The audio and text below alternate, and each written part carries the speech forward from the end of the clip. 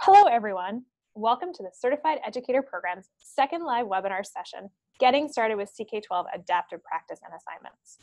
I'm Katie, one of the CEP program managers, and my colleague Lindsay and I will be running today's webinar. We are thrilled to have so many participants from all around the world joining us on our second day of the live sessions for the CK12 Certified Educator Program. Once we get a few days into the program, we'll be able to get to the core webinar content right away. But since this is just the first day, we do want to remind you of some programming details that will help set you up for success this summer.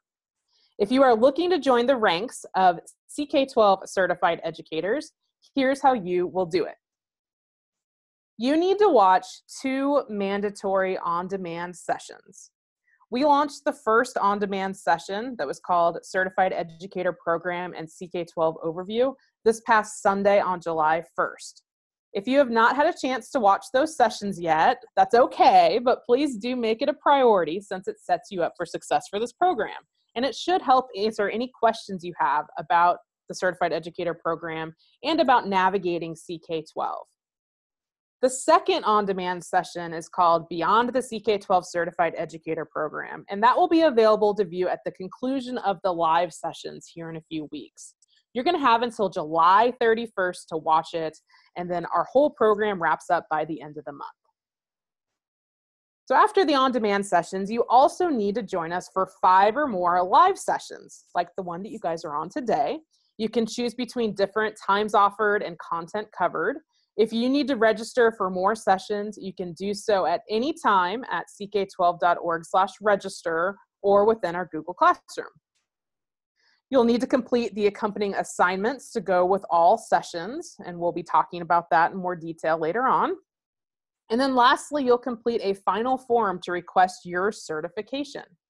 And then you'll be CK12 certified. Google is a partner of the CK12 Foundation, and we're using a Google Class to organize all of the materials and assignments for this program. You should have received several emails from us about accessing our Google Class. If you did not receive the emails, we've had some users report to us that our emails have hit their spam folder. So please check there first and uh, make sure you're getting our emails. Your email has a join code that you need to access the class. If you have not joined yet, we hope you'll be able to do so soon. Because, like I said, that's where you're going to find our first on demand session that includes five short videos to get you started with the CK12 program. And you'll need to watch those and complete the matching assignment as soon as you can. At the end of today's webinar, after we've covered all of our core content, we're going to stay on and answer any questions you might have regarding Google Classroom. We'll talk about the join code, we'll do a little walkthrough of how to find resources, so we'll do all that at the end today. But right now, we do want to get going with today's hot topic, which is adaptive practice and assignments. We have created a handy resource page for each of our sessions this summer.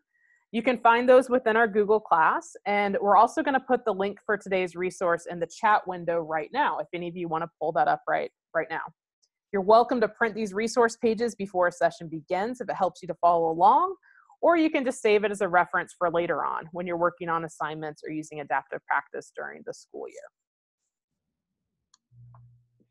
We hope you'll find these resource pages to be a great addition to the program. Now let's make sure everyone is getting comfortable with the Zoom webinar platform. We're just gonna do this for the first day or so just to make sure everyone is up and running. You should see two different options on your Zoom screen, one for Q&A and one for chat. During today's presentation, whenever you have a question about CK12, please post it in the Q&A window. This helps, helps us track which ones we've answered and which we still need to address. The chat window is a place for community conversation. We'd love for you all to introduce yourselves. If you're an educator, feel free to share where you live and the subject you teach. Just make sure in the chat window that you're sending any general posts to all panelists and attendees and not just CK12 or the panelists. While we don't anticipate any technical issues, if you're having trouble with your video or your sound, please let us know in Q&A or the chat window. So with that, let's get started with today's content. In this webinar, we'll be covering the following topics. CK12's adaptive practice system, the intelligent system with 150,000 plus questions, which adapts to students by challenging them with harder questions or recommending resources. CK12 classes, creating and managing classes, along with features such as sharing content, hosting discussions, making assignments, and more. And finally, assignments and student progress, assigning practice and other modalities, and seeing student work, including answers, levels, and time spent through CK12 classes. Our main goal is that by the end of this session, you understand how our adaptive practice system works, you can assign practice and other, other modalities to your classes, and you can monitor student progress. I'd like to launch a poll right now to find out a little bit more about your experience with adaptive practice and what your plans are for the future. So you'll see two questions. The first question asks how familiar you are with our practice tool. So please let us know if you are new to adaptive practice, you've used CK12's practice occasionally, or you use it frequently. For the second question, you're going to select all of the answers that apply. We'd like to know which, if any, sorry, let me rephrase that, one of those answers that apply. So if any of the following assignments that you're going to send either through CK12 or your learning management system. I'm going to pause for a few seconds to let you finish answering this poll.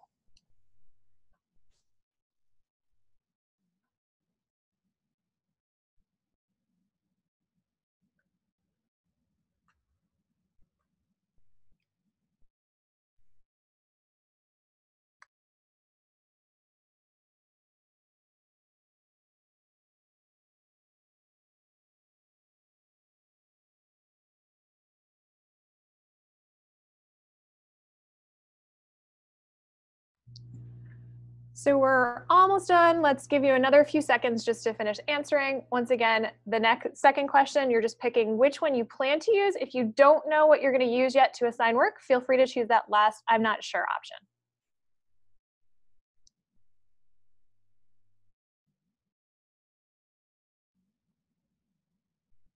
And I think with that, let's end that poll and share the results. So it looks like a significant portion of you are new to CK12's adaptive practice, so that's great. You guys are in the right session. We're going to cover that and fill that out.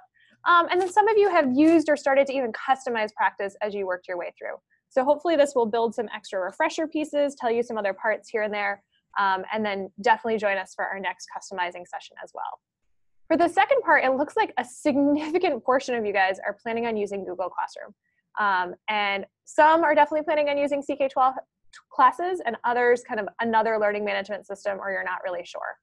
Um, and so I think with that, we're going to talk about just kind of as we go through. Note that if you're using a learning management system, you do not need to set up a separate class in CK12. So as we go through this whole process and we talk about managing CK12 classes, the assignments and the content that we're talking about will still be relevant for you.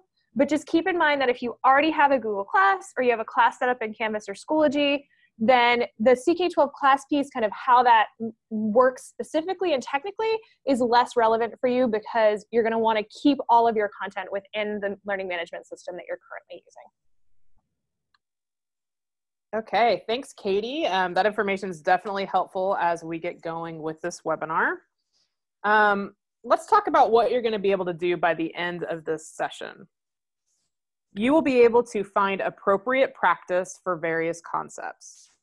Assign practice, reads, interactives, and other modalities to your CK12 classes. Create a new CK12 class and make changes to any existing classes. Find detailed per question feedback on students and quickly see the number of students in a class that have completed an assignment. For those of you who will be taking customizing CK12 practice and assignments, here are the types of things that we're gonna cover in that more advanced session. Customizing practice into quizzes, all the different settings for quizzes, adding concepts to a quiz, selecting and recording quiz or questions in a quiz, creating new questions, using CK12's math editor, creating multi-concept assignments, and student reports to multi-part assignments and quizzes. So if you're wanting any additional help with any of these more advanced skills right now, or like Katie was saying, with an integration with learning management systems like Google Classroom or Canvas or Schoology, please be aware that this Getting Started webinar focuses on the basics, and we're gonna prioritize questions related to the basics during this webinar. But don't worry, we're gonna stay on at the end to address your more complex questions, and then we do have these exciting webinar sessions upcoming the next few weeks that, um, that are hopefully gonna interest you. So with that, let's move into CK12's adaptive practice. So first of all, what is adaptive practice? CK12's adaptive practice system is a digital tool designed to meet students at their current level of understanding and help them master the next step for any concept. Because of that, our system will bump students up to available harder questions if they are successfully answering, or it will make recommendations, such as text to read, a video to watch, or an interactive to work with, if students are finding the current level too challenging. Why should I use it? We have over 150,000 questions with a variety of question types. Plus, when students submit their work, you as their teacher can see info such as the time they spent, their streak, and the level of questions. And finally, where can you find it? You can find it on the CK12 website through concepts or the adaptive practice icon. There's also a free CK12 app available for all smartphones and tablets. The tool provides the ability for students to practice at their own pace on any electronic device using either a browser or the app, and they can do that in school, at home, on the bus, or on the way to a game. Like Katie just said, there are several different ways to access adaptive practice on our site, and I'm going to show you a couple of those ways during a live walkthrough in just a minute. But one easy shortcut shortcut is to simply go to www.ck12.org/practice. Our adaptive practice system is set up to challenge students to answer 10 questions correctly. Students will see this message at the top of their practice. It says, get in the game, get 10 answers to complete your practice goal. Our system meets students where they are. With three levels of questions, easy, medium, and hard, the system will match the student's level and will gradually increase or decrease difficulty depending on how students are performing. This means a student who is struggling may hit a goal of 10 correct with mostly easy questions, and a student who is more advanced would have more of a mix of levels. For teachers, this ensures that each student is progressively and appropriately challenged while maintaining a clear record of each student's level of understanding.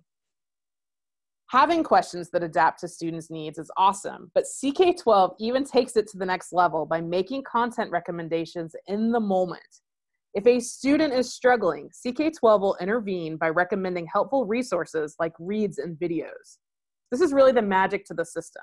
If you're teaching five classes a day with 30 students in each class, it is difficult to differentiate for all students in the moment. But our system does the heavy lifting for you and ensures that students are being appropriately challenged and supported. When you select practice for any concept, in this case, adding whole numbers, you're going to see this main screen. When logged in with a teacher account, one of the first things you see at the top is the option to assign this to your class. Just keep that button in mind um, as it's going to be relevant when we start talking about assignments. To the far right, you'll see the option to download practice as a worksheet. You can press that and get a print copy of the practice. The icon in between that says customize is going to be discussed in more detail in the session customizing CK12 adaptive practice and assignments. You will always get a time estimate for how long our system thinks it will take a student to answer 10 questions correctly.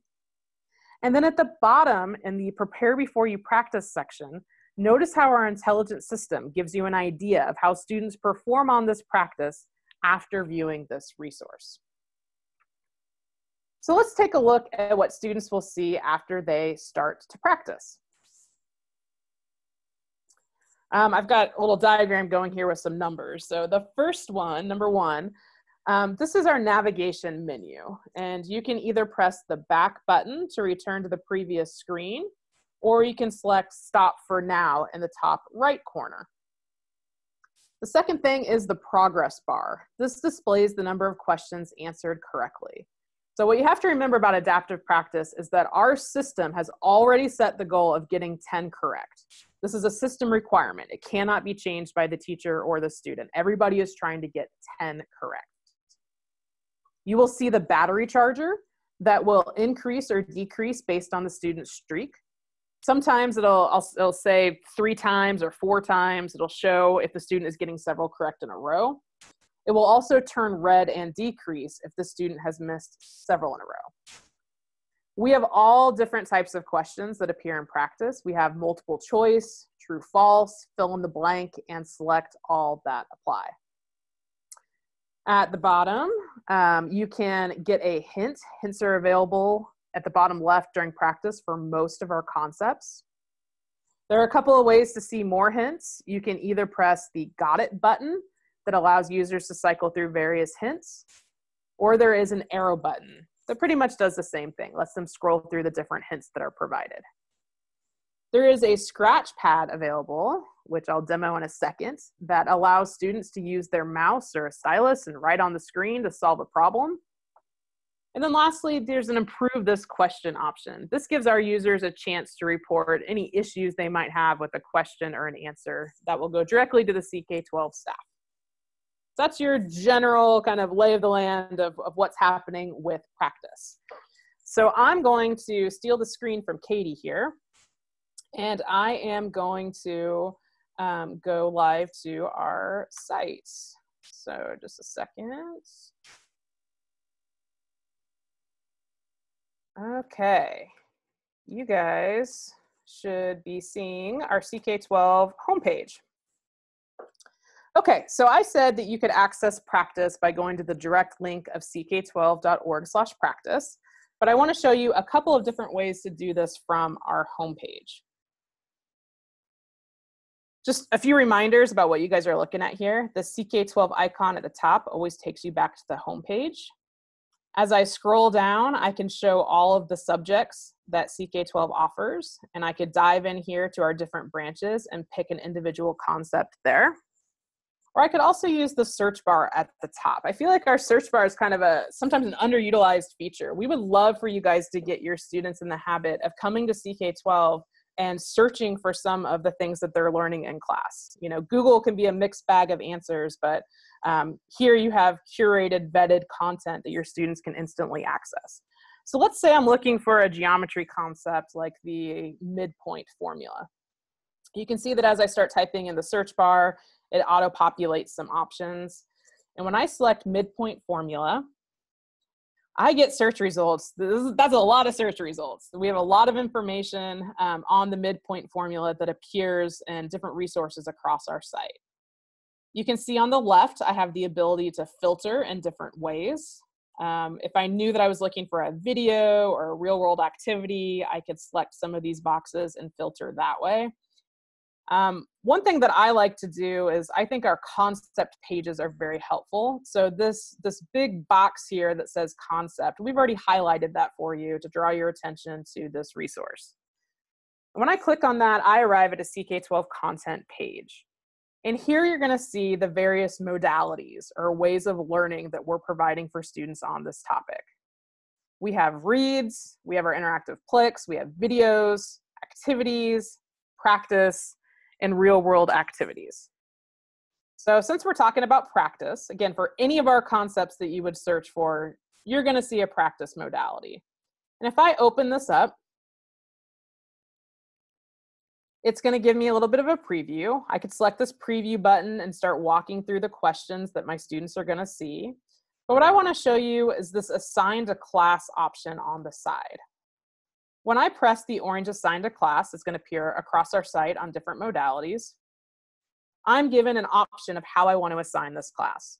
Um, a lot of you said that you are Google Classroom users, and that's fantastic. You can see that we make it very easy for you to select either CK12 classes or Google Classroom. Today, I'm only talking about CK12 classes. Um, you'll, you'll see this Google Classroom option, but we have a different webinar scheduled for you Google Classroom users. But today, we wanna show everybody the advantages to using a free CK12 class to assign work. So from this assign button, I see that my title that I'm assigning is the midpoint formula. I can type in instructions, and then when I go to assign in CK12, I can see the different classes that have been set up and I can type in a due date and I can assign to my class. We'll look more into that here in a bit on assignments. Um, another way that I can browse, I'm going to press the CK12 logo and go back to the homepage. If I scroll down, we have explore circles here. Um, I like using this as a good way to, to easily access our simulations, our Plix, our adaptive practice. And so if I go to browse adaptive practice this way, I land at the adaptive practice browse screen. If you're wondering what concepts have an associated adaptive practice, this is your screen. You can see that we have some things for grades one through five. We have comprehensive coverage for middle school math and science, high school math and science, and then we have some English spelling um, basic spelling questions for adaptive practice as well. Um, I'm going to pick on a physics concept for a moment.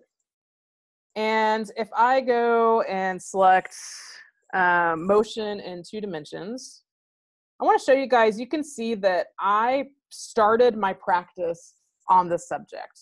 In the far right, you should be seeing a percentage. There's 20% for gravitational force, 50% for projectile motion. What that's telling me is that in my account, I started doing practice questions on those concepts, but I never reached my 10 out of 10 correct. If I if I got 10 out of 10 correct, it would say 100%. So here I only answered 2 of 10 questions. That's why it says 20%. I only answered 5 of 10 questions. I can go back into this adaptive practice at any time and I could get myself up to 100% or I could even do more questions to get over 100%. So that's an option to do that at any time. But I'm going to go back and let's look at a, a life science topic, something that I haven't done yet. Uh, let's see what's going on in plants. Um, if I select plant evolution, this is a practice that I have not completed yet. And so you can see that it's guessing that it's going to take me about five minutes to get 10 questions correct. This is the window we looked at earlier where I could assign to class from this view. If I press that button, I've got the choice. Am I assigning to a CK12 class? Am I assigning to a Google Classroom? I can download the worksheets. I've got some practice recommendations if I need to brush up before I start practice. And then once I start practicing, this is where we're going to see our questions and answers in my battery charger. So I'm not going to do too much reading here. Um, you'll notice when I get an answer incorrect, we still give students a positive message. It says, check your work, then answer. Um, you know, something, something encouraging. When I get a question right, I got my one out of 10 so far on my progress bar. It turned green.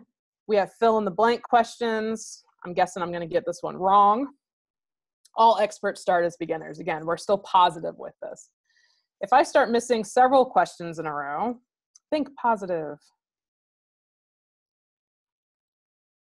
hopefully your students are going to do a better job with practice than I am. Um, I just missed three questions in a row. And so this is the exciting part of our system that I was talking about of instead of letting the student continue to randomly guess or just, you know, if they're genuinely struggling with getting correct answers, CK12 has popped up a recommendation window. I'm given a read, a video, and a real world activity in this situation. All three of those should help me get the information that I need in order to be more successful on this practice. So I could select any of those, brush up, come back to practice, or if I'm going to ignore CK12's recommendation, I do have the option to return to practice here as well. Um, so you can see my battery chargers, I don't have any streaks going and that's red because I just missed a lot. Um, so hopefully I would pick back up here and get questions correct. Um, a few additional things. Remember, we have some hints. So here's a hint that would help me answer this question. I have a scratch pad that might be useful, um, particularly in, you know, math classes. It's my great handwriting demo. Um, scratch pad's available. And then improve this question. It's just to give CK12 feedback on anything that's going on with those questions. Um, so that is hopefully the information you guys would need to get started with adaptive practice. So why don't we pause there for a minute and Katie's been keeping an eye on our Q&A window and let's see what we can clarify on adaptive practice for you all. Thanks, Lindsay. So right there, that Scratchpad, we had a question that came in um, about whether or not teachers can see Scratchpad notes.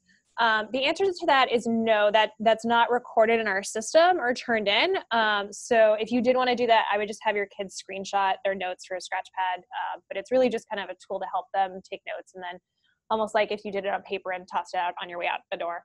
Um, we had another question that came in about the grade level or difficulty of the content practice questions determined. So when the questions are written to start, we put an estimated grade level on it. But once we start having students work with it, um, our system actually is intelligent enough that it starts readjusting that level based on how students are doing. Um, so it's really kind of a broader understanding of is this a question that a lot of students have difficulty with, or is this a question that a lot of students get quickly and easily without any issue? Um, so that's kind of how that level happens as they work their way through.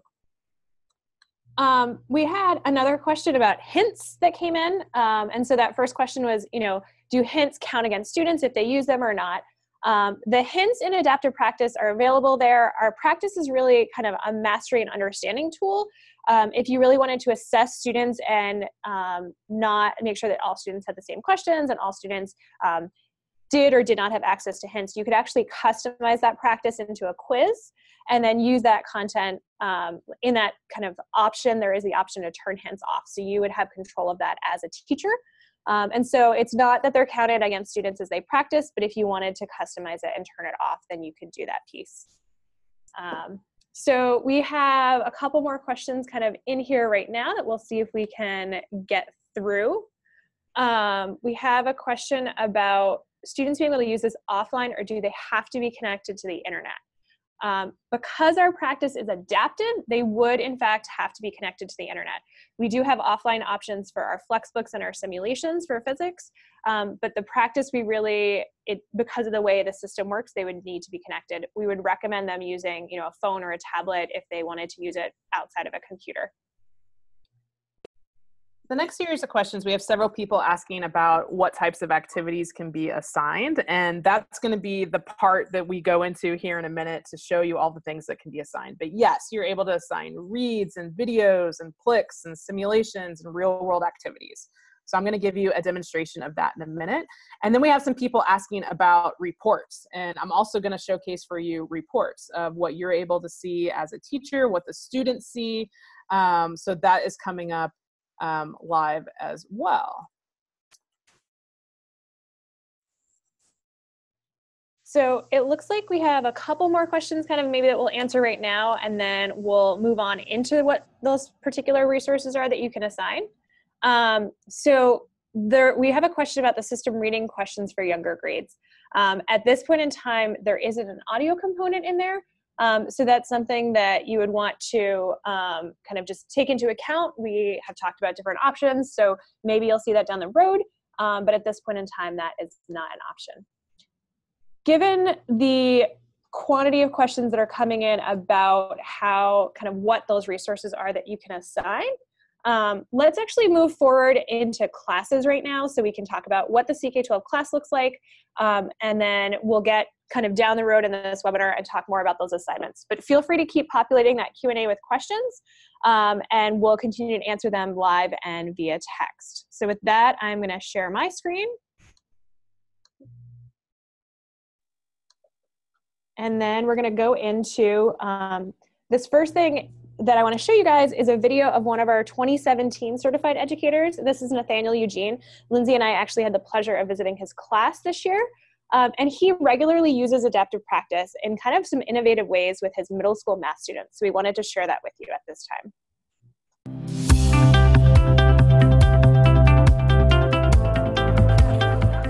There are three big reasons that I really want them to be on CK12. The first thing I think is um, what it does, it, it allows them to improve, it allows them to extend the lesson that I'm teaching. So um, they could maybe um, build on skills that I can't cover in the classroom. And um, sometimes when they come to me, they have a lot of learning gaps. Um, CK12 allows them to um, focus on those skills that I can't touch on class. So does 80 go into 1,000? Um, the question they're working on actually is slightly above grade level, but they challenge, um, trying to challenge themselves. Um, so they're probably going to be just for just a little while trying to figure it out. But um, that's one of the reasons I use it, so that um, our um, slightly higher kids can get an extra challenge. Another thing is it makes them very, very competitive, very uh, motivated, and they tend to do better on standardized uh, testing when they are that motivated. When you send kids to the board, you actually get to see them struggle. Um, you see things that you really wouldn't notice if you were the one up front. So what I try to do is try to turn the class over to them so that it becomes more student-centered as opposed to just teacher-centered. Plus 20 minus 36. And then you have, well, what's 20 minus 36? Can you simplify 20 minus 36? Um, by them being able to access the Plix activities, the um, flex books, the uh, videos, they choose the styles that they want to learn in. I think CK12 is very beneficial to me because when I don't understand a certain concept in the classroom, I usually just go look on CK12 and he puts the assignment up there so like he can make us understand. And the first thing he always tells us to do is watch the videos and like use the readings to try to help us. And that like that really helped me out learning like um, polynomials, how to multiply them, factoring them. It makes them more independent of me. And um, for me, it's more than just standardized testing. It's making them lifelong learners, independent learners, so they can actually go ahead of me and touch on topics that I haven't even co- um, covered yet because they have that, that confidence that I can learn it in the way that I want to learn it. So hopefully that gave you guys kind of one last just understanding of a different way to use adaptive practice. Um, and with that, I think we're going to move into classes. So with lots of different ways to learn on CK12, our CK12 classes help you manage assigned work and let you see student progress. Now, I want to reiterate again, we've had some questions about the advantages of CK12 classes versus Google Classroom versus other learning management systems. Um, I really recommend that you kind of, if you're using a learning management system for your class already, that you stick with that and you don't also create a CK12 class. Um, the only kind of added advantage to a CK12 class is that you could create a multi-concept assignment instead of creating you know separate assignments for each modality type um, or including kind of each concept as you work your way through.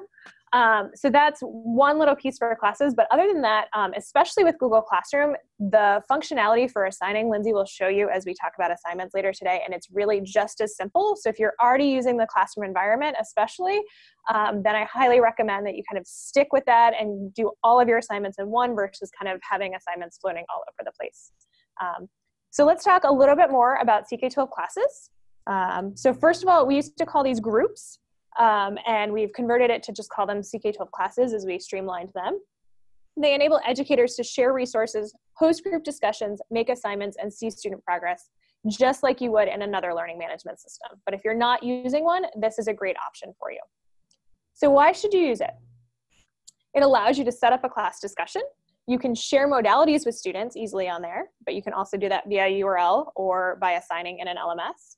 And you can track student progress. And then where do you get it? You can create and access CK12 classes through your dashboard or the icon at the top of any CK12 page. Okay, so I'm gonna steal the screen back again and go to the CK12 homepage. And so you guys are seeing my screen right now. Okay. Um, somebody just put in the chat window that you you don't want to start blending your learning management systems that you kind of want to pick one and go with it and i would like to echo that sentiment so again i'm going to show you what this classes button does at the top but for you folks with a different learning management system at your school you might choose a different option for assigning work but this is available free to all of you and there's definitely um, some advantages. I was just working with a homeschool teacher last week who this was the perfect solution for assigning work to her um, students. In this case, were her five children. And so she was able to set up a class for each. So uh, again, just depending on your situation, um, this might be the, the great solution for you.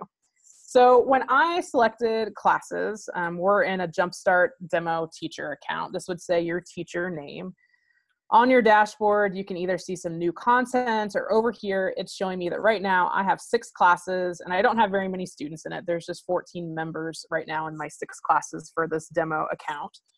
Um, when you guys log in for the first time, you might see a little video tutorial walkthrough from CK12 that helps onboard you. Um, or we've got some handy tips throughout. So a step for if I'm ready to come in and create a new class for my new school year, this plus sign button here it's a great way to start. I've got the option to create a class or join a class. So I'm going to create a new class. And I get a, a, a, pretty easy walkthrough window here that says start a new, create a new class, start a class to share resources, assign practice, and track progress. So if I'm teaching algebra 2, um, and if I had five different class periods, I might set up an algebra 2 hour 1 class. And I could type in a description about that class here. I could select my subject where I'm going to say this is my algebra class. And you've got a couple of theme options. We're going to make that this class green. And I'm going to create a class. So here is the class that I just created. And we're trying to prompt you of, well, you've got a class, you probably want to add some students. I can do it later, always. I can come back to this classes menu option and access anything that I've set up. But when you're ready to add some students, you've got options for how you want to do that. And it's whatever's easiest for you. If you are in a school where you have your students' email addresses, you might want to invite students by email. There's also a join code that's entered here that you can give to your students to have them join the class. So you could email all of your students if you wanted.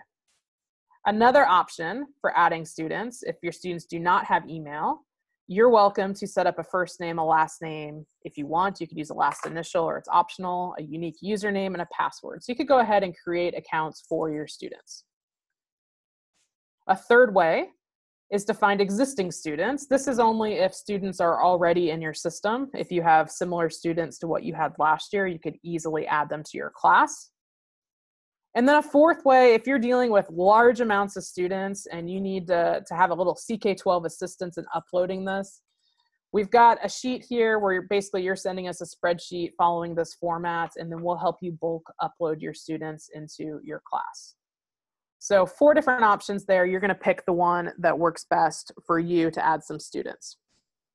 Um, just something to wrap your head around is that if you're using a CK12 class to make assignments, you can't assign different things to different students within the same class.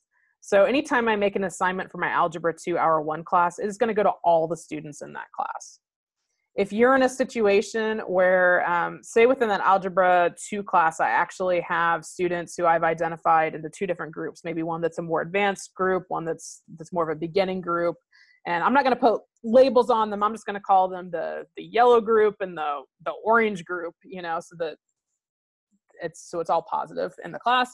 I might want to set those up as two different classes. I might actually have algebra 2 hour 1 yellow, algebra 2 hour 1 orange.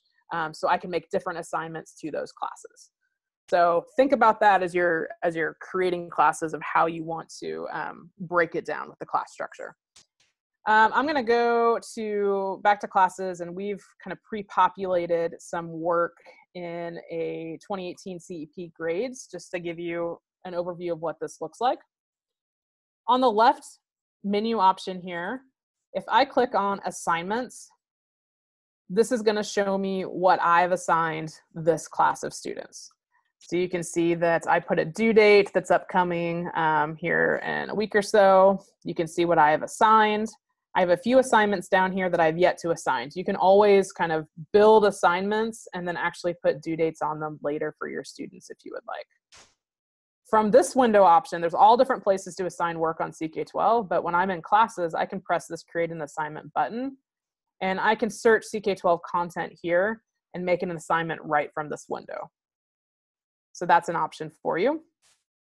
I have different ways to sort my assignments, whatever's easiest for you to access. Reports, um, I'm going to go through this more thoroughly in the last part of our webinar today, but just as a preview, there's only four students in this class, but I can see the assignments, I can see the students, and then when I click on these bars, I would actually get some um, data analytics reporting. So we'll talk about reports in a second. Um, another feature of classes that you can choose as a teacher is whether or not you want to enable a question and answer feature. So this could be great if you have that classroom culture where you want students to be able to answer, ask questions, and you want students to be able to respond. Um, it cannot be great if you have the classroom culture where you're concerned about what students might be posting on an open form like this. So jumping down here in settings, in the settings option in classes, this is where you can, can, can control um, that Q&A setting. So you have the option to either, um, first of all, enable Q&A or not. You could just turn it off if you don't want to have that in your class. Um, you can enable the option to let students post anonymously, which could be a comforting thing for students who are reluctant, or again, something that you don't want to enable if you're worried about who's going to be posting anonymously. In the settings, you also control um, how students receive notifications, um, how often they're going to get emails from you when you post things. You have the option to delete a class here, and again, some more information about class code and things like that. So that's under your settings. Otherwise, shared resources up here. This is where um, you as a teacher can share additional links, um, videos, things that maybe you don't want to assign, but you want to make available as a resource for your classes. And then members is just going to show you who's currently um, in that class. Okay, I think that was your quick walkthrough of CK12 classes for those of you who are going to use CK12 classes. Thanks, Lindsay. We had a couple questions about the class code and how you can add stuff. So if you can just go back to settings for one second on that screen, um, you can directly share that class code at the top or even copy the link. If students are already signed into CK12, copy the link right below that. Um, and if they click on that and they're already logged into CK12, then it would automatically add them to that class. But you don't need to kind of invite them if you want to just share that code. So that's kind of the easy option for class codes as you're working your way through. Um, and then assignments, if you can just go back to the assignments page for a second. So we had a question about assignments and um, first of all, due dates, our due date option is to put a date. There's not currently a time component on that, um, but you can add the date both within CK12 or straight to Google Classroom um, when you make that assignment but you um, can't kind of put the timestamp attached to that. Here, I'm within this particular class, so I can choose to assign content to this class. When we talk about assignments later and we go into those in more depth, we'll talk about how you can assign it to multiple classes at the same time, so you'll be able to see that piece. Um, and then we have a couple questions about sharing resources. Um, so maybe you could go back to the Q&A for a second in there. Um, sorry. um, so the shared resources within a class are set for the teacher to share class resources in there. So as a teacher, I could put in, I could share, you know, a text, the whole, maybe the whole textbook with my class that way, or a video I want them to check out. Um, but if students want to share resources, they can always take any of the URLs from our site, their unique URLs, and paste them into a chat, and that might be a great way for them to share particular resources within a class option. Um, and then when we do assignments, we're going to kind of keep the option of assigning pieces um, to the Google Classroom and various other pieces to the assignment section of this. So maybe with that, since most of these questions are about assignments, we're going to have Lindsay um, kind of jump in. Actually, I'm going to jump in. Let's take that back um, and steal my your screen back and talk about assignments for a second. So what are assignments? And this is relevant for both within CK12 as well as any learning management system. So just keep that in mind that all of these pieces are helpful and informational as we work our way through. So what can you assign? Teachers can assign practice, you can assign a customized practice, what we call a quiz, read, video, simulations, our Plix interactives, and even real world applications to your class within CK12 or to a Google class or if you're in a learning management system that we're integrated with, you can assign that within that learning management system. Why should you use it? Well, the advantage to creating assignments is A, to get kids to do that work, and B, to see how they're progressing and tailor your teaching accordingly. And then where can you get it? So assignments can be created and reports accessed on CK12 through any CK12 class. Um, you can create assignments on CK12 for Google Classroom as well, and then in other integrated learning management systems, you would do that within that LMS. So concept modalities, I kind of rattled off a whole list of them recently. So let's look at them for a little bit longer. So the first is our read. This would be a section in a textbook um, or a standalone read that's kind of teaching a lesson to students. You can see videos, so you'll see a variety of videos on our site that might be useful for students to access and learn about a concept. Our Plix interactives are these little quick interactions that students can work with. Simulations we currently have for physics and chemistry, um, and those are kind of more in-depth systems-based, really nicely designed and kind of all these different components interactives for students. Our practice or the customized practice in quizzes, and then our real-world applications. So all of these resources have a unique URL that you can always copy and paste. You can share that in a class, you can share that externally, or you can use our little green Shareaplane to do that within our system. But if you want to generate a report for your teachers and students to view, you're gonna to need to assign that content. So Please don't be intimidated by this chart. It's included in the session resource page that you can reference at any time. But to give you an idea of how things report in CK12 classes or preview it in an LMS, here's kind of what happens. In practice and quizzes, students are working towards a goal, 10 correct in adaptive practice, or the full 100% in a quiz. For reads, videos, and our real world applications, you're simply asking them to read or watch that. And then our Plix interactives and our simulations, we want students to work with and explore. The first two will give you a percentage of actual questions answered correctly with the goal of 10 correct in adaptive practice or the whole in quizzes. The other ones are really learning modalities. So we give a check mark or no credit in CK12. And if you work in a learning management system and you set a score for that assignment, it would give them zero or the full score. So lots of kind of options. This is just a quick reference sheet. Um, but keep that in mind that really the ones that are going to give you that detailed percentage reports are the ones that actually are the questions in adaptive practice and quizzes. Okay, so let's take a look at um, how to assign a couple of things. These are just screenshots to show you here, but when you're assigning a read or a real world activity or a video, it, it looks pretty similar to this read right here. This is a read on the Val A, and what you're looking for is this assigned a class orange option um, right there. And I demoed this earlier for you, that if you press assign to class, it's gonna pop up the option to assign through CK12 classes or through Google Classroom. And you would set the date and add instructions. So this is the same for a real world or video.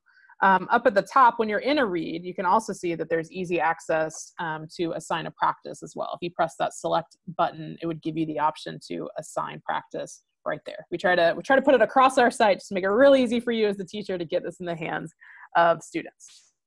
If you are using a Plix, which are our um, kind of bite-sized interactives, they've got five questions. We've got an assigned class button at the top that's bright orange. You select that, you get the same pop-up window that asks you how you want to assign that to your class. This is the same if you are working with a simulation, that same orange button at the top, making it easy to assign. And so I, I, I think you're going to find that button everywhere. Um, if you ever have any questions, you know, ask us. There's help center support. But I think one thing that we do make very easy is for you to sign, find the assign button and um, start, you know, figuring out how you want to organize your assignments with students. So now for reports. Uh, let's look at um, a report view. This is the view that I showed you earlier when I was in um, this 2018 CEP grades class. So across the top, um, horizontally, you see that I have an, it, it all depends on distance. That's a real world activity that I assigned. I assigned a simulation, I assigned a practice. That one is showing that I have assigned one concept. Um, for you guys who are assigning uh, or attending our customizing practice, customizing assignment session, we'll start talking about multi assignments where you'll see that number go up. On the left, I have my students. We just use the last initial for privacy sake. So I could select a student and um, see a student report. And this is what you would see if you selected a student. So this is Kaylin M. And it's showing those same assignments that I saw horizontally on the last report, but it's showing me for Kaylin some more information of she turned in the, it all depends on distance, real world activity on July 9th. And so there's just a check mark there. On our real world activity, that's that's a reading activity like our reads or our videos. All our system can really tell you is that the student accessed that resource. Um, so that's why you get a check mark. It's just your completion. So you, you, you'll find out did a student at least attempt to open that resource that you gave them or not. That's what the check mark is. We can see for at the crossroads simulation that Kaylin hasn't even attempted this. Um, for our simulations, they would actually have to um, get to the sandbox area, manipulate um, a variable. They'd have to do something to be able to turn in their simulation, and she has not done that yet. For our practice, uh, like Katie was showing you in the chart, practice reports out as a percentage. So as you're learning, that 100% for practice means that Kaylin achieved 10 out of 10 um, or she she got 10 correct on her adaptive practice so it's reporting 100% for that so that's an example of an individual student report um, now let's look at um, the detailed report that pops up. This is what a student is going to see at the end of their adaptive practice. When they submit their adaptive practice, they get a screen that looks like this. You as the teacher can view it, the student can view it. There's no there's no mystery there. So what we learn from looking at this detailed report is that um, the student 70% correct means they only answered seven correct questions out of the 10 our system set as the goal. So I can see there, seven correct.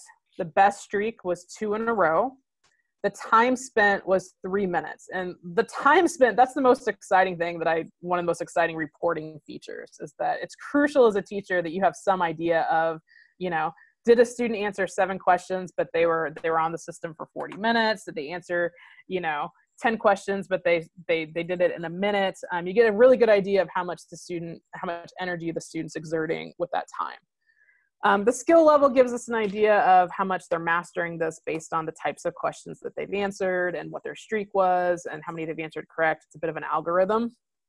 And then we see the all questions. So I know that 11 questions were attempted and seven were answered correctly. And then I see the breakdown between how many of those were easy, medium, and hard. So after getting four out of four medium questions correct, looks like we moved on to hard questions and struggling a little bit more where only two of five hard questions were answered. So if you were to scroll down this, um, this screen, this report, you're then going to see exactly what was answered correctly and incorrectly. You're going to see the questions, you're going to see the answers, you see the easy, medium, hard question, and these are always accessible for you as the teacher if you have assigned this to your students. The students can see it as well.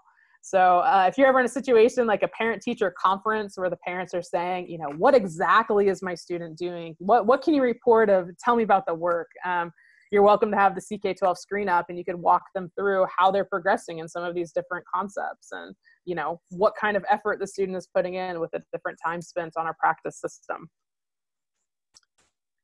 Uh, to show you what it looks like from a student perspective, uh, this, we've now switched over to Jumpstart Student. You see Jumpstart Student in the upper right-hand corner. So this is what a student would see. If you've assigned work, the latest assignments tab, um, I see what's lined up for me. I can see the due dates and I can start practicing from this area of my dashboard or open up these resources.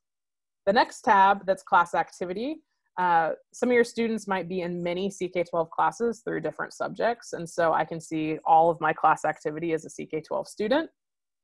And then the self-study tab at the end, um, students might be working on their own, things that aren't necessarily assigned to them by a teacher. So this dashboard can show them um, other things that they are working on as well.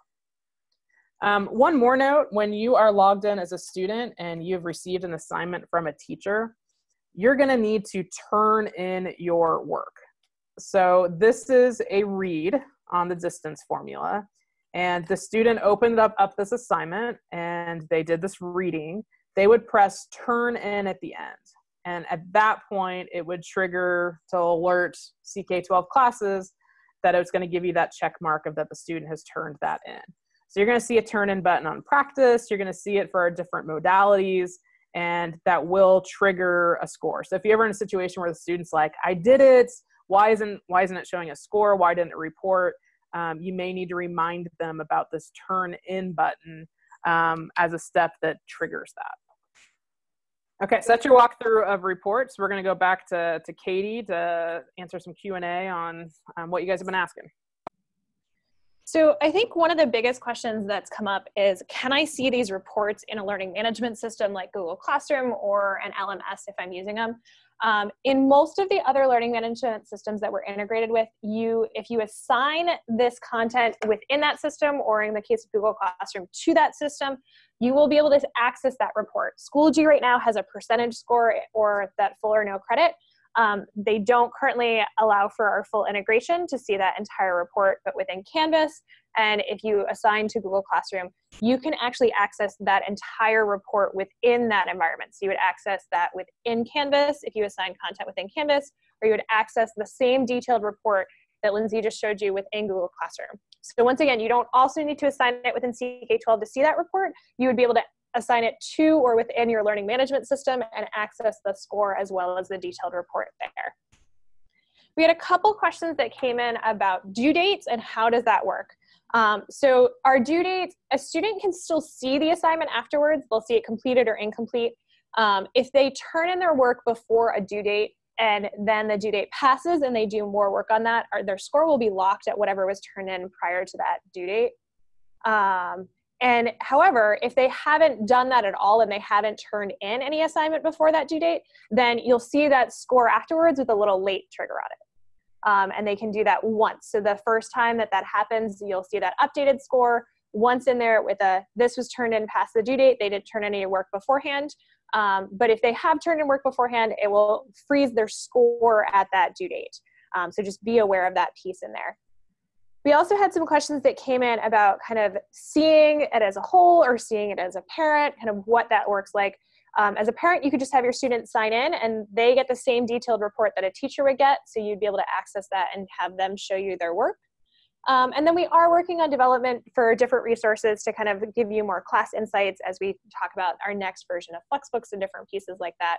Um, so we know that that is not currently, there's not like a quick how did all my students do on this? How much time did they spend on this? What did this look like at this point in time? Um, but we've heard you guys and we're looking into options for that.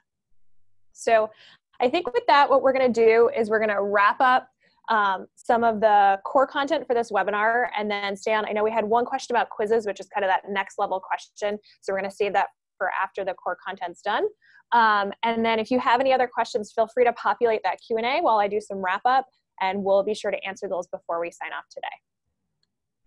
So, um, just a note, you can access our tools and apps page via ck12.org slash tools and apps or by going to the footer of any of our core CK12 pages. Um, this is a great resource for you guys um, because it includes information to our apps. So right now you'll see our Flexbook app, our Sims app, and our Practice app. If you're on a phone, the Sims is too small for a phone, so you'll just see our Flexbook and our Practice app within there. Um, but you can access those and then also find out more information about the integrations that we have with the learning management systems listed there, as well as with single sign-on options like Clever and ClassLink. Um, so if you're still trying to figure out, okay, how does this work? What do I do with this? That's a great resource and tool for you to use. We also have some adaptive practice sessions coming up. So this one was kind of that basic introduction one. The next one in the series is customizing CK12 adaptive practice and assignments. As Lindsay mentioned, that would include pieces like customizing quizzes, creating new questions using our math editor, and then multi-concept assignments and quizzes. I will stay on and answer a question about quizzes today, but definitely check that out if you're interested in taking it to the next level. Our first offering of that is actually tomorrow, so you can join us then.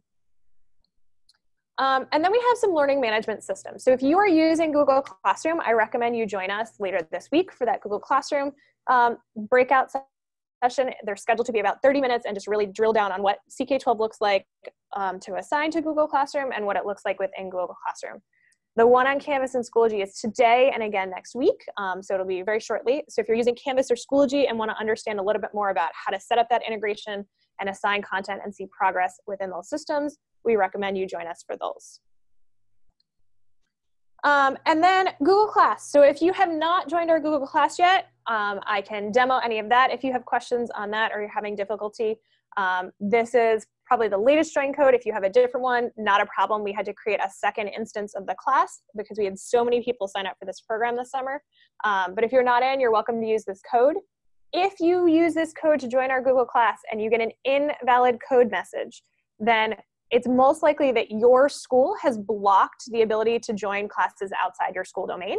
Um, and you can have your tech person whitelist the ck12.org domain within Google Classroom, or you can simply use a personal email address um, and then shoot us an email and let us know what that is. We're working our way through cross-referencing those, and we'll get back to you and confirm that we have that so we can track any work across both pieces. Um, and we highly recommend you do that soon because those on-demand sessions that help you find all your resources and assignments and everything else for this program are in there, as well as those great session resource pages and assignments for the program. Speaking of resource pages, we do have a resource page getting started with CK12 adaptive practice and assignments. You can find that within the Google Class environment. We also messaged that out earlier in the chat window today. Um, and that has that great chart reference as well as kind of a general overview of what's in there. Um, so check that out. Now, hopefully you guys are all planning on becoming certified this summer. So if that's the case, you're going to need to go into Google Classroom and click on the assignment. Once you fill out this form and click submit, as soon as you get a confirmation screen, you can simply open your assignment window and click mark as done. Um, and that will help you track what you've completed. We have this on our side as an answer to the Google form, but it doesn't automatically update your marked as done when you submit that. So just make sure you're doing that within there. And then just a reminder that we recommend doing these within about a week of your webinar so everything is nice and fresh and you are good to go. But everything is due by the end of July in order for us to process all of our certifications this summer. We have a feedback form for you um, that we're using the same feedback form for the whole program and we hope you'll use it. We've gotten some great responses to help us as we continue to develop this program. So please take a minute and tell us what went well or what we can do better. Um, this is not mandatory. You are not required to fill out this feedback form, but we do read and carefully consider all comments we receive as feedback. Um, it's available within Google Classroom under the topic feedback. So with that, thank you so much for joining us today. We're gonna, you're gonna continue to be supported by our team at CK12 and we're happy to help you in any way. You can email us, um, and then post on social networks, tell your friends what you're doing, know about CK12. Um, we've been getting more and more people joining each day based on some of that. Um, and as we said, we're going to stay on and answer some questions, but if you don't have any more questions, that is the end of our core content for today's webinar.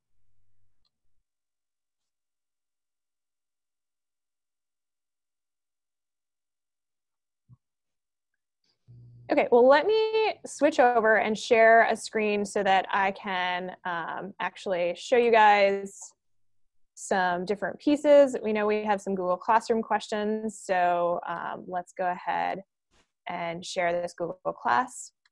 So within Google Classroom, if you are new to CK12, the CEP class, you just would click the plus sign and you click join class, and then you would post that code in here. So VN, click on that VNH7F0. I can join. I'm actually already in this class, but if you type in the code, it should access that there. Um, but you can see it up in the top left of my dashboard kind of as it's joining that particular piece. So if you go within that class, and we'll see if we can get that to load. Now that I'm in the Certified Educator Program, Today's content was getting started with CK12 Adaptive Practice. So what I recommend you do is go to that topic option, click on getting started with practice, and here you'll see all of the resources for this particular session. So we have kind of the description, some useful links, our links to our apps, so you can download them, some Help Center articles, and our great session resources, that last one right in there. You have an assignment. I was showing this the other day, so I marked this as done. I can open my assignment, click on the link in the form to fill it out. So once I do that and I fill out my form here, and once I submit this form at the bottom, then I'll get a confirmation screen. And you should also receive an email that gives you your answers and the ability to edit it. But once that's submitted, then I can go in here and I can just mark that as done. So if I click unsubmit, we'll go back for a second so you can see what it looks like. And you would just click mark is done as soon as you get your confirmation screen so that you know you are all set. We will track it on our end as well. And then the last piece there is, if I go back to getting started with that, I can scroll down and you'll see we have two more sessions. This is the one we just did. So within the next 24 hours, we will remove that join code and we'll post the recording of the webinar just like we did yesterday. Um, so you can access that as a reference as you continue to work your way through. Um, I, let's see what other questions we have coming in here. Um, so I just answered that the recording of this webinar, yes, that will be hosted tomorrow. Um, and I showed you guys where the marked as done was. Um, we had a question about joining um, kind of a future offering of this. If you were only able to join us for a few minutes today, um, then we recommend that you join us for the full webinar in the future. Um, we do expect you to kind of be in class for the majority of class in order to get credit for attending it. Um, if you you know cut out for a minute or two because your power went out i saw that happen to someone and you're back like don't worry about that piece but you should plan to be here for the majority of that hour webinar in order to get credit for it live um, if you are looking for a certificate and kind of you're joining us for multiple webinars we will issue certificates and documentation and everything at the end of the program. Um, so you'll fill out that one final form and that will allow you to kind of request that certificate. We're not issuing separate certificates for each hour long webinar. We'll issue one with all of the hours combined from there.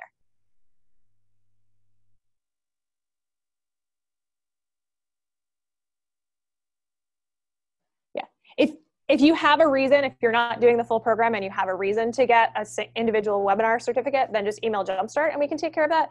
But if you're doing the whole program, you're going to get kind of that one piece at the end. So I would recommend not taking your time to get all these little ones um, from there. So you'll just fill out that final form and then you'll get that certificate. Um, so I am going to take a question.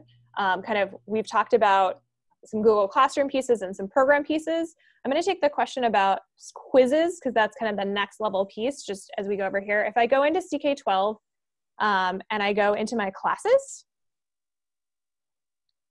so let's pick this particular one that we're working off of. And I go into assignments. So this is the one difference kind of within CK12 versus a learning management system is that when I create an assignment from within a class. The little quick assign to class option um, assign single modality options, a read, a video, practice, etc., to your um, class, whether that's in CK12 or Google Classroom. Um, and similarly, you can assign one piece within um, a learning management system. If you're using CK12 classes, you can create an assignment and you could pull multiple concepts. So I could say, I want a concept on time. Let's include this one and another one here maybe. And I could even add a quiz to this assignment. So this is a great option where you could say, I want you to do these different practice things and then take this one quiz. And what it will do is it pulled up all of the quizzes that I have created. Um, and you can tell that I have not done a good job labeling them with anything useful other than a date. Um, so when you make a quiz, I highly recommend you title it with something helpful. Um, and if you click on the info, it'll give you kind of a little bit of information on what that is and show you what you're looking at. There's a timer on this quiz, etc. Um, or I could create a new quiz and that would bump you to our editor. So if you're interested in kind of putting multi-concepts together or adding a quiz to that piece or even just generally creating a quiz and customizing practice, um, we're doing an entire hour webinar on that topic. Um, the first one is tomorrow and we have another one next week. So I recommend that you join us for that. Um, but then once you create quizzes, you could also just simply assign that quiz. So anything I customize or create will be found in my library. And I could filter and say, I want just my quizzes. And then whatever that is, I could open it up and I could assign that quiz directly to my students. I could assign it to my students in CK12 or I could assign it in Google Class. Once I connect to Google Class, I could kind of pick all my classes and put due dates there right off the bat um, or the same thing within CK12. And then I could assign that from my library within a learning management system like Canvas or Schoology. So kind of lots of options within there for classes and different pieces. Um, but if you're interested in customizing practice or making quizzes or doing multi-concept assignments, definitely join us for that customizing process.